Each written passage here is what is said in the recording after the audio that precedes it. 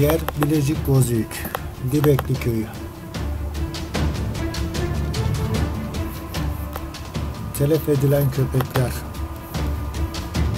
Kimi diyor? Sırtlan. Kimi diyor? Canavar. Kimi diyor? Kurt. Telef edilen köpekler hangi hayvan? 25 tane Dibekli Köyü'nde köpeğin telef olduğunu bilinmeyen bir yaratık tarafından telef olduğunu aktarmaya çalışıyoruz ve manşetlere yans yerel manşetlere yansıyan görüntüleri izletiyoruz. Büyükbaş hayvanlara dokunmuyor.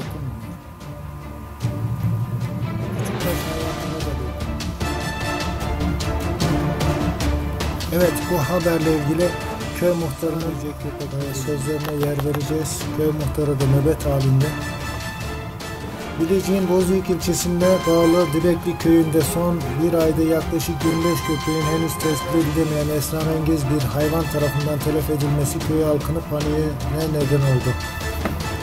Mustafa Yılmaz köy muhtarı bu küçük büyük e, hayvanlara dokunmuyor sadece köpekleri telef ediyor. Köyümüze dadanan bu yaratık yüzünden köyde köpek kalmadı. Köylülerimiz yaşanan bu olaylardan dolayı tedirginlik yaşıyor. Bu konuya yetkililerden destek bekliyoruz diyerek yaşadıklarını anlattı.